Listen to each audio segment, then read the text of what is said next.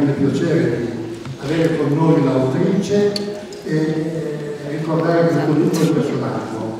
Assieme alla Zana c'è Massimo Gravellini e Michele Sbarzassi che non hanno bisogno di essere presentati.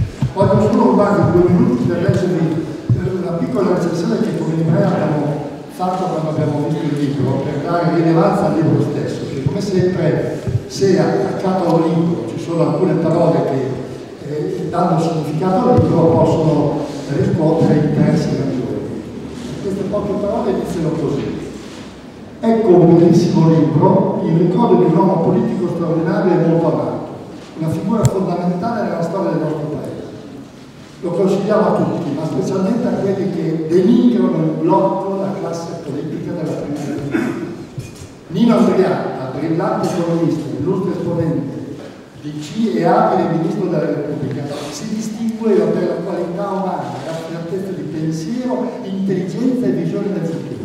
Ha dato un contributo decisivo per la crescita dell'Italia per renderla credibile in Europa e nel mondo.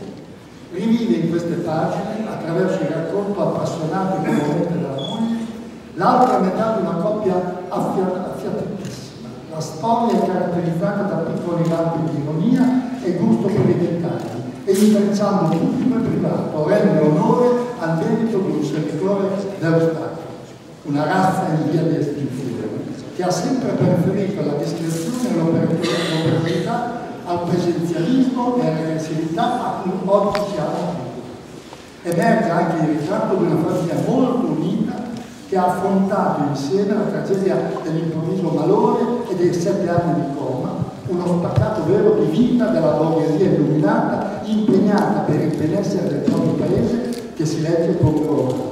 Quindi grazie veramente Giada per aver dato a tutti noi la conoscenza all'interno del questo libro di chi era Nino. Grazie.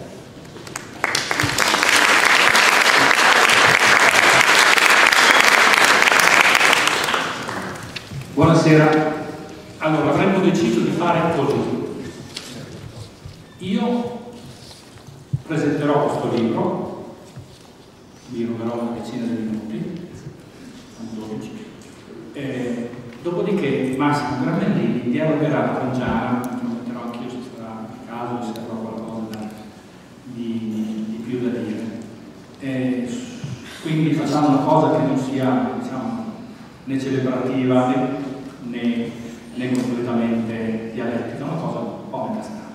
La mia la mia lettura di questo libro, mia presentazione. Io credo che chi leggesse questo libro senza conoscere Gianna, forse senza neanche eh, conoscere bene uh, la, la, storia di Andrea, potrebbe trovarsi di fronte ad alcune delusioni e ad alcune ben maggiori sorprese che vi convincerebbero potrebbe attendersi che di leggere la biografia segreta di un uomo politico che è stato molto importante nella prima Repubblica. Troverebbe invece una storia d'amore. Potrebbe cercare in queste pagine retroscena politici inediti, dichiarazioni maledette sulla politica italiana negli anni di una turbolenta transizione, troverebbe un lessico familiare del Novecento. Potrebbe cercare, questa sarebbe la cosa peggiore, di sbirciare nel dramma umano che questa coppia, questa famiglia hanno vissuto per sette lunghi anni, gli anni che Gianna Petroni ha vissuto accanto suo marito Beniamino Andreatta immobile sul letto di ospedale. Magari, magari aspettandosi da lei qualche appello morale, qualche dichiarazione, qualche teoria, qualche principio forte che scaldi il dibattito sul fine vita. Troverebbe invece una disarmante, sincera, profonda, leggera testimonianza sulla vita. E se leggete questo libro, la scrittura molto leggera, molto lieve, non vi rivelerà che prima di darlo alle stampe già ha esitato a E io ho avuto il privilegio, e qui voglio ringraziarla qui anche davanti a tutti, insomma, di vivere con lei la gestazione iniziale di queste pagine, quando non erano nemmeno pagine ma erano un, una cartella di file Apple eh, molto confusi, nel senso che non si capiva quale dopo, scritti in tempi diversi, alcuni scritti all'epoca, alcuni scritti ripensando, che davvero un magma dove c'erano delle cose che si intuiva molto, molto belle, molto toccanti, molto affascinanti, ma che non era ancora un. E, e ho visto piano piano diventare questo, questo magma memoriale, affettivo, un libro pubblico, se posso dire così. Un libro pubblico nel senso che è abitato da delle ragioni e da delle passioni che non sono accessibili soltanto a chi ha vissuto. E se non avete ancora letto questo libro, scoprirete che si alternano dei capitoli intitolati prima e dei capitoli intitolati dopo. Prima e dopo cosa è facile intuire. Prima e dopo quello spartiacque delle 11.30 di sera del 15 dicembre del 1999, quando Gian ricevette quella telefonata da Roma che diceva Nino si è sentito male. Credo che tutti ricordiate, chi non, chi non ricorda ricordo io, dato di storia, ormai non ricordo. Beniamino Andreatta, senatore, già diverse volte ministro Andreatta, economista, studioso, si era accasciato improvvisamente nell'emiciclo del Senato nel pieno della discussione sulle leggi finanziarie. E, e il, a, a quell'ora quell'ora precisa il prima diventa irrimediabilmente terribilmente un dopo e nulla torna più indietro. Beniamino Andreatta resterà in coma per sette anni, non si risveglierà mai e morirà il 26 marzo 2007, quindi poco più di dieci anni fa. E quel momento in cui prima diventa dopo è poi in fondo un momento che molte famiglie hanno eh, purtroppo. È l'evento che inghiotte e ribalta una vita intera e in questo caso particolare poteva far correre un rischio a questo inghiottirselo tutto, poteva piegarlo dolorosamente sotto l'attesa di questo finale, di cui sarebbe stato un culmine tragico, no? che il lettore ovviamente già conosce, il lettore visto, già sa che si aspetta, quindi legge, avrebbe letto probabilmente tutto il libro in funzione di, questa, di questo rimassimo di dolore. E beh, Gianna ha fatto, ha fatto un'altra cosa, ha sparso il dopo nel prima, e questo non per macchiarlo, non per drammatizzarlo, ma al contrario, perché il prima contenesse e contenesse in tutti i sensi il dopo, contenesse e contenesse. Il risultato di questo libro è nel suo titolo. È stata tutta luce, è una sono Ada Gobetti pensando al suo Piero. È stata tutta luce. Tutta luce anche quei sette anni di vita molto speciali, durante i quali, come Gian mi volle raccontare l'unica volta in cui parlò di questo con un giornalista, con Beniamino ancora in vita, e anche di questo vorrei ringraziarlo pubblicamente perché è stato un onore e una responsabilità che ho sentito molto. Dicevo di questo compagno di vita che per cui già non si è mai sentita vedova, come disse lui.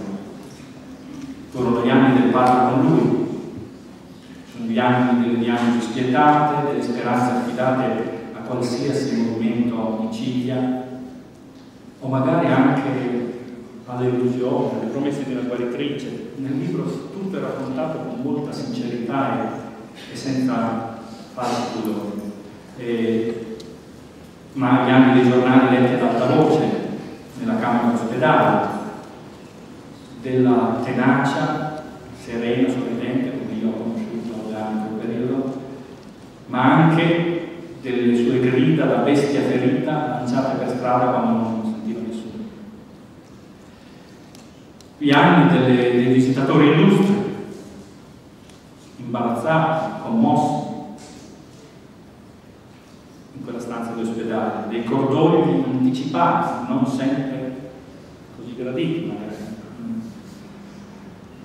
Non, di tutto questo troverete il racconto nel libro, dolce, straziante, sincero, ma che già appunto riesce a fondere, non a separare, a fondere con gli anni della serenità, delle gioie, dagli inizi romantici, di questo amore, amore del Novecento, non so come altro definirlo, forse non, tra promettente studentessa e un giovane professore con gli occhi giotteschi.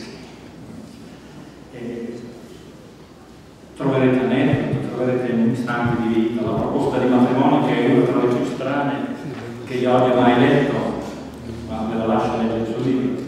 Eh, la vita passata assieme, i viaggi, le condivisioni traslotte, le amicizie, i quattro figli. La vita in questo libro è una sola, prima e dopo sono divisioni che appartengono alla cronologia, ma non alla legge del cuore. Dicevo dello spiazzamento possibile di un lettore distratto, no? E confesso che anche io con la, quell'attitudine del giornalista che non riesco a togliermi di dosso, lessi prima per la prima volta queste pagine aspettandomi appunto quel retroscena che sarebbe legittimo attendersi dalla biografia privata di un politico che è stato protagonista di un'epoca di grandi rivolgimenti pubblici. Bene, queste rivelazioni non ci sono, non so perché probabilmente non c'era molto da rivelare, insomma, ho immaginato anche questo, forse, o forse non era quel, o forse quello che c'era da rivelare non importa più tanto. Non so, ma comunque sia, la storia c'è in questo libro, ma come un riflesso, un bagliore una rapimento di Mora è una pagina di sbigottimento, gli anni di piombo si riassumono nella minaccia poi rivelatasi inconsistente di un ragazzo incontrato per strada, Tangentopoli è un'ombra di amarezza. Si direbbe quasi che Già abbia voluto dare alla storia, quella con la maiuscola, no? una specie di ruolo di sfondo, come, specie, come se fosse una specie di film lasciato scorrere sul televisore in salotto. E mi è anche venuto un dubbio che Gianna volesse prenderci un po' una rivincita quell'altrove, quello spazio pubblico in cui spesso il marito viveva lontano da lei e che alla fine ha, si è imposto anche violentemente come lo scenario terribile della sua ultima, della sua caduta nel sua caduta che avvenne strana ironia della sorte nel luogo più pubblico che il paese civile conosca, un'aula del Parlamento. Però penso di, che fosse la strada sbagliata, l'interpretazione sbagliata, perché questo libro, che pure è così intimo, personale, già compie un'operazione intellettuale molto raffinata, che è anche forse difficile da cogliere, lo sarebbe se lei stessa nelle prime pagine non ci mettesse sulla strada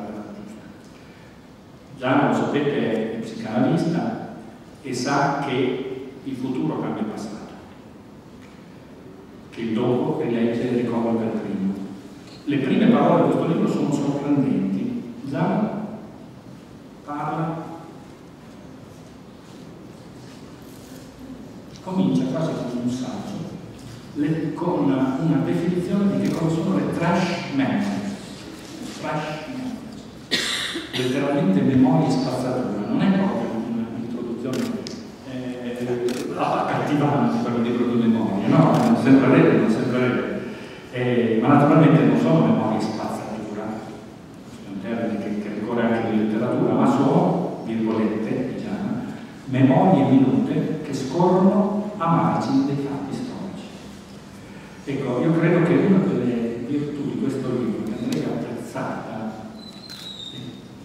al di là di tutti i valori sentimentali, umani, storici, etici che ci sono dentro, narrativi, è questo eh, esperimento insomma, di, di questa operazione quasi cristiana dove succede che questo dialogo minimo quotidiano, dove sono spesso raccontati, molte volte anche elencati, i film visti assieme, i libri letti, i luoghi visti, le persone frequentate, più o meno famose, i dettagli di minuti, apparentemente solo aneddoti, so, il gergo, il gergo familiare, alcune parole incomprensibili di, di Andreatta, o quelle sulle tasche della giacca, sempre tutte sbucciacchiate dalla pipa, mai spenta bene. Ecco, succede che tutto questo non è più semplicemente un album di vecchie fotografie di famiglia, ma diventa una specie di esperimento di memoria sociale. Ho letto un libro bellissimo, potrebbe essere molto simile a questo, che è una vita di Andrea Di È semplicemente elenco di cose incontrate sulla strada della vita. Questo libro, anche quello è un libro meraviglioso, E quindi questa cosa, questo,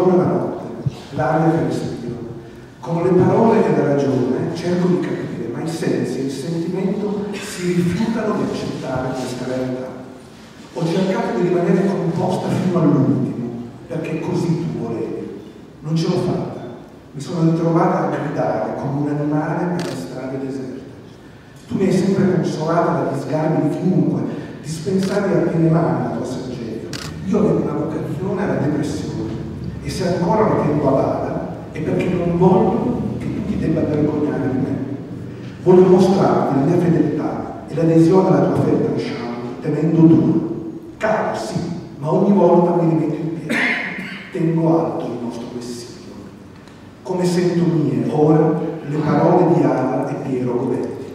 Nella tua vita, scriveva Ada, c'è stato tanto ardore, tanto lavoro, tanta gioia da farla più ricca e felice di tante altre. E non c'è stato nulla di laido e di imperfetto, ma al sicuro. È stata tutta luce. E penso tu non volessi che ti si piangesse, ma che si considerasse la tua vita un capolavoro e un esempio. Спасибо.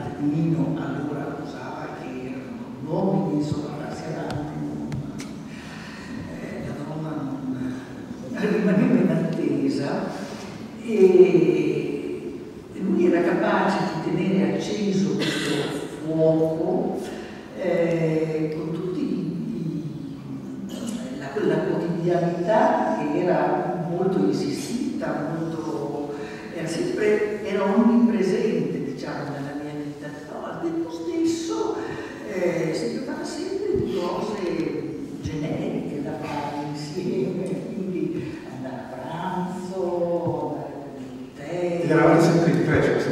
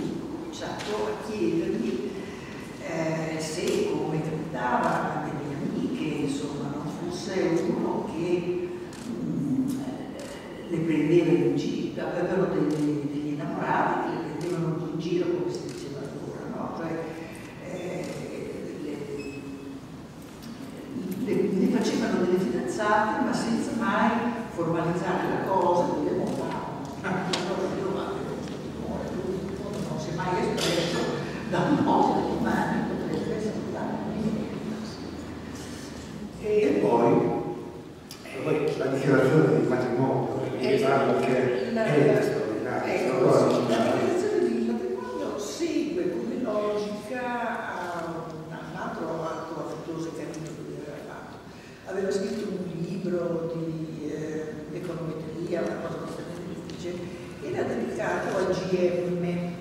Allora io avevo riesumato il secondo nome di Marina e ci tenevo abbastanza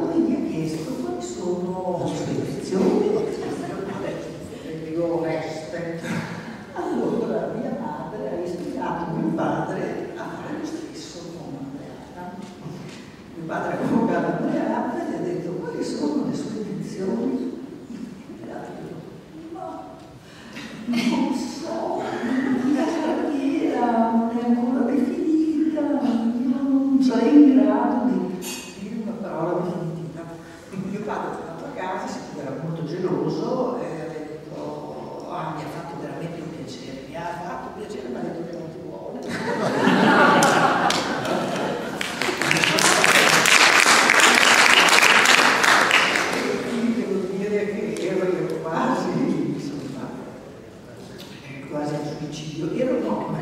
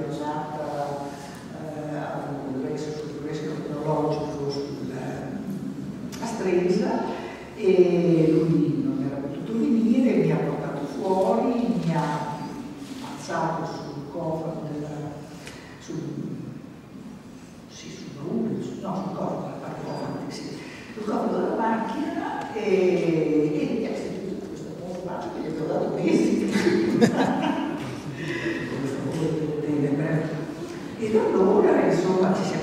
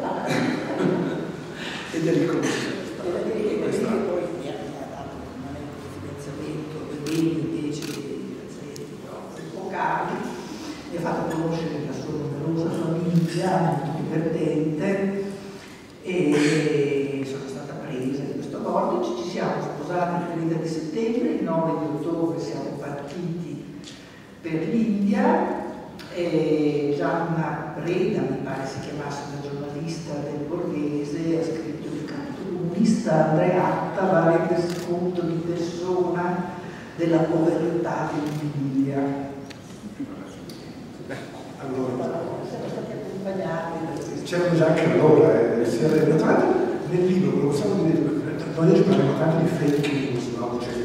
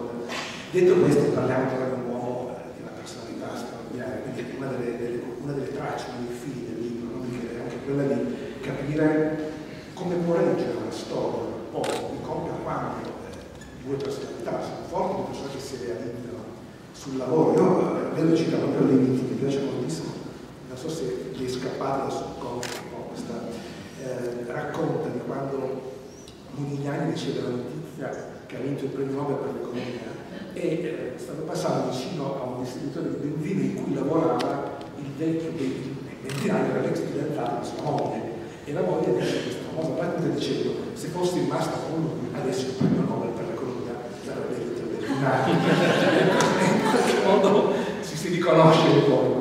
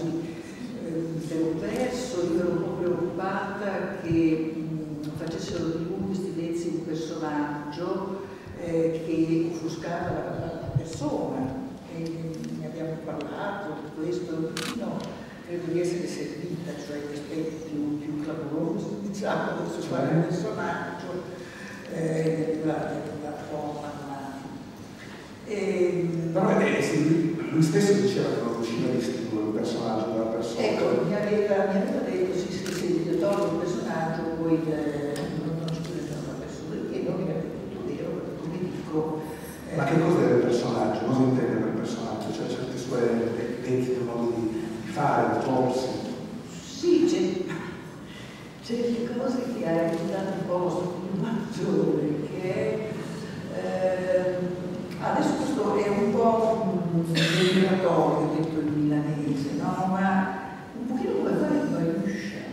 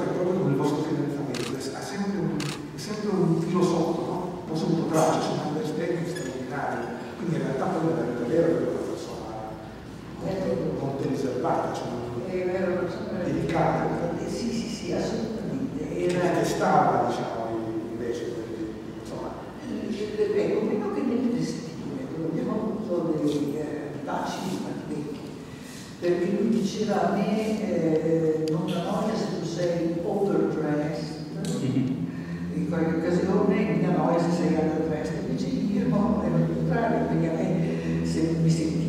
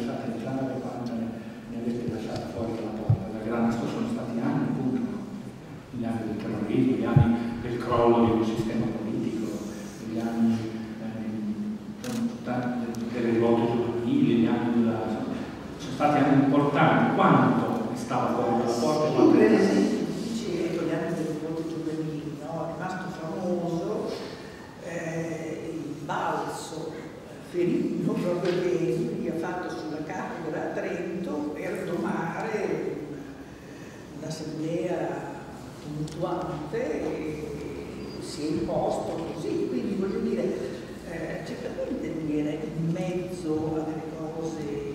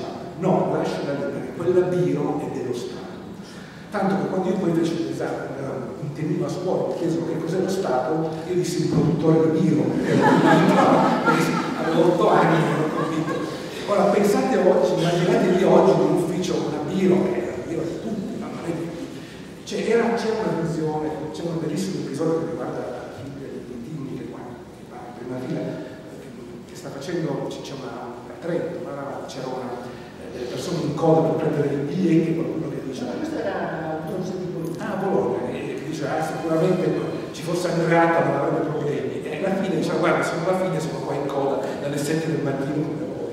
Cioè l'idea comunque di, una, di un senso etico, no? E, questo spiega anche poi, possiamo dire, tutto quello che poi è stato il tema no? che interessa Andreata, tutto il mondo eh, di Andreata, questo meraviglioso uomo da lui, il professor Prodi, che è un rappresentante, c'è un mondo che combatte Berlusconi, per dire, prima ancora che politicamente, ma lo dico con grande serenità, cioè, cioè è una contrapposizione che prima che è pre-politica, è proprio una, una contrapposizione di modo di cioè di non riconoscere un tipo di borghesia diverso, che non riconosce più determinati valori.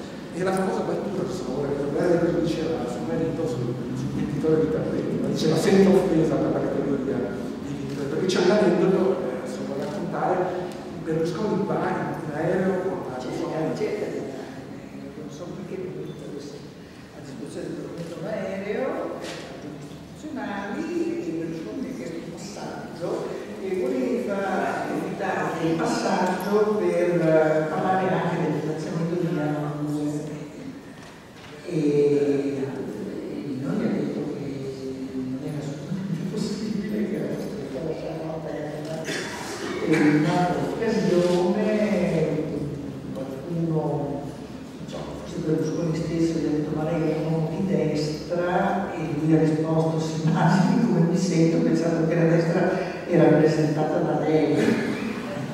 Cioè, l'uomo di destra non dico. E questa è una cosa in quegli anni difficilissima. Io ricordo come era difficile spiegare che Montanelli fosse contro Berlusconi in quegli anni. E il lettore di Montanelli diceva ma come è sempre voluto che arrivasse qualcuno che si contrapponesse ai comunisti, adesso che è arrivato mi sta incontro. Perché c'era questa contrapposizione che non era, che era appunto pre-politica. Nel caso del suo marito poi c'era anche una certa intransigenza. E c'è questo divertentissimo aneddoto nel libro che riguarda anche professor Prodi che era suo assistente, e lì vediamo proprio eh, le due anime, no? Io mi riconosco più Prodi, lo confesso, che sono di cuore nuovo, perché c'è questa, questa, questa studentessa che deve passare l'esame e con Andrea non ce l'ha fatta. E quindi cosa succede? E succede che eh,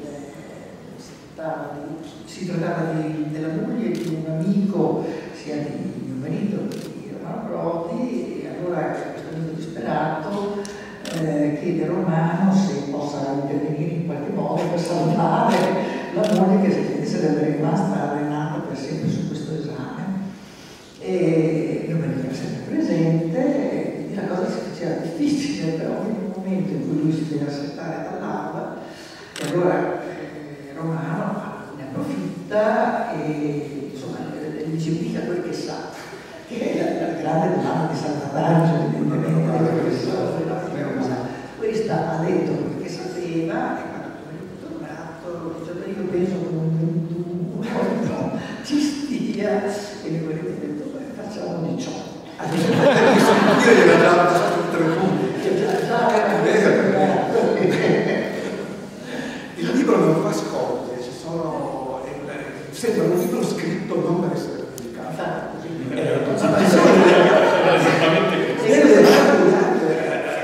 Umberto Eco diventa un narcisista.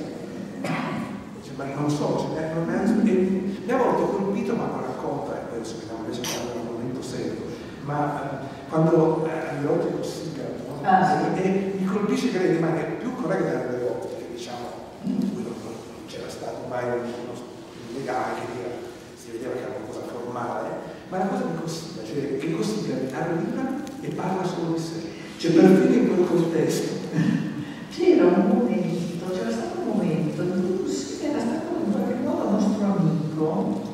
E io ricordo questo episodio, interparliamo tutti sempre molto sorriso, lui è arrivato e l'anticamera c'era una corte verticale in casa nostra, allora lui ha estratto, non mi ricordo dove, una pistola e l'ha appoggiata sul pianoforte dicendo da noi in Sardegna quando si entra in casa di amici eh, si depongono le armi. Italia, non mi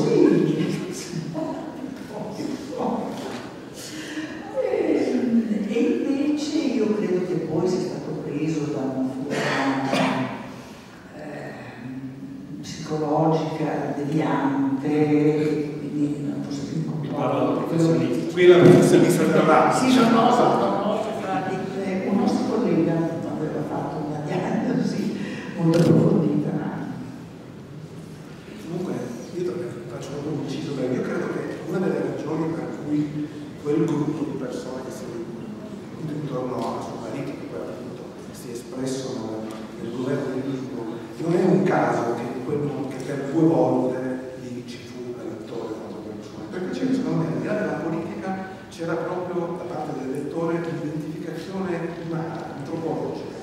Ed è oggi, secondo me, questo il punto su cui occorre avere riflettere, cioè il buddista politico. Oggi viene meno, viene meno questa nettezza di contrapposizione non ideologica, ripeto, ma antropologica.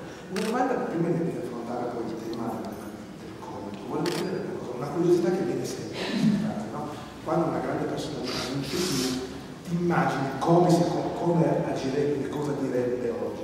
Allora, suo si è sempre battuto, insieme a Prodi, si è battuto per l'euro, è sempre stato vicino, ha sempre visto quello come...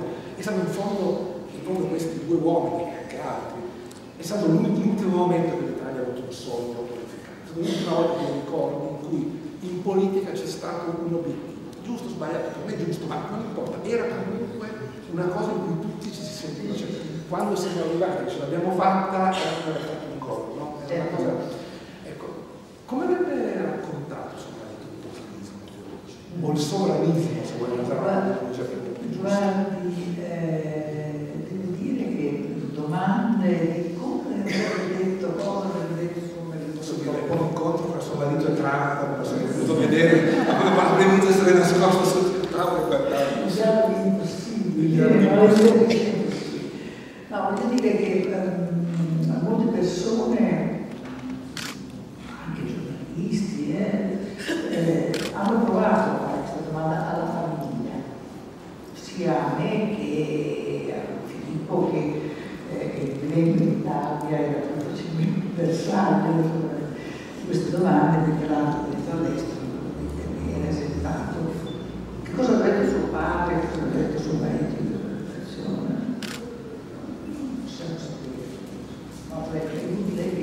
particolari, si può immaginare, chiaramente si può immaginare cioè, tutto e come eh, gli si sarebbero alzati i in testa.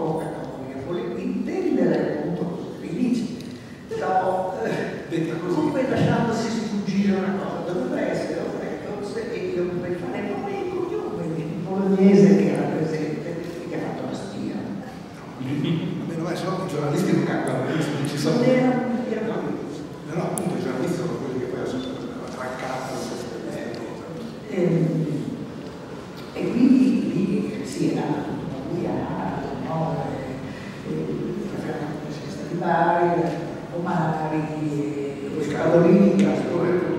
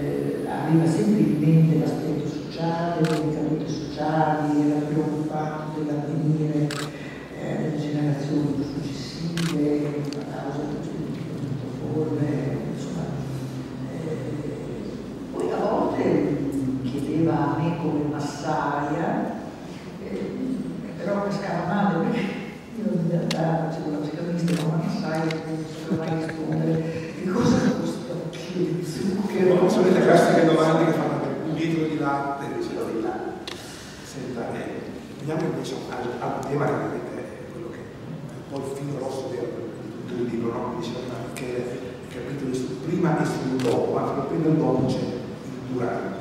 Cioè questi, questi sette anni, eh, questi sette anni in cui bene,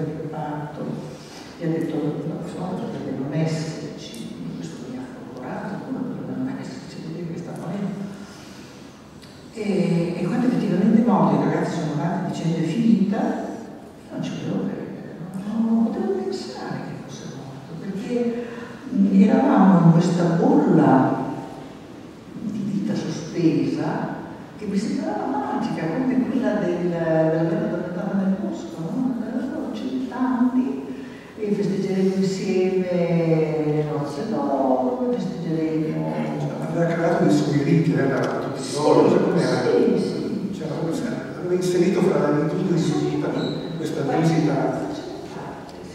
E per me è stata una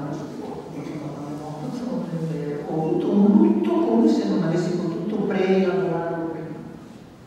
Posso, sì. posso chiederti una cosa? Questi sette anni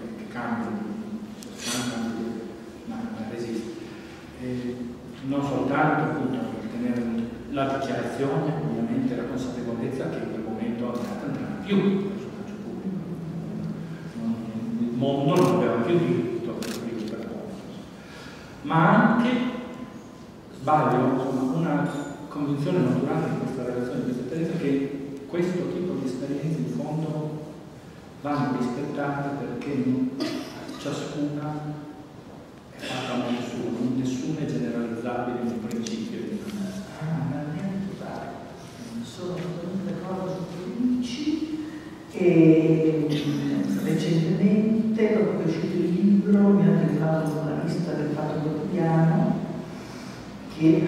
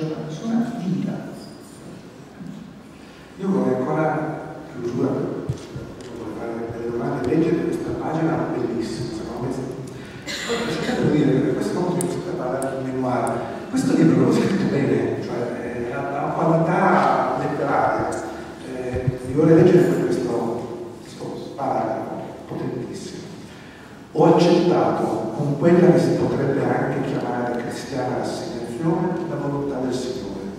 Tanto cosa sarebbe servito ribellarsi se non a stare peggio? Ma per un altro verso è come se non avessi ancora assimilato il corpo fino in fondo. Finché eri vivo eri vivo, era così importante che tu fossi vivo, eri una roccia a cui restare aggrappata, una roccia calda che ti sosteneva quasi come quando eri in te. Quando sei morto è stata una vera tragedia, ma rimane talmente intessuto in me che a volte, se chiudo gli occhi, non è che ti ricordi che mi venga in mente il tuo viso. Nel gioco di chiaroscuri che si crea dietro le palpebre abbassate, io proprio ti vedo. Riesco persino per qualche secondo a distinguere tra i grigi che definiscono i tuoi lineamenti il verde dei tuoi occhi.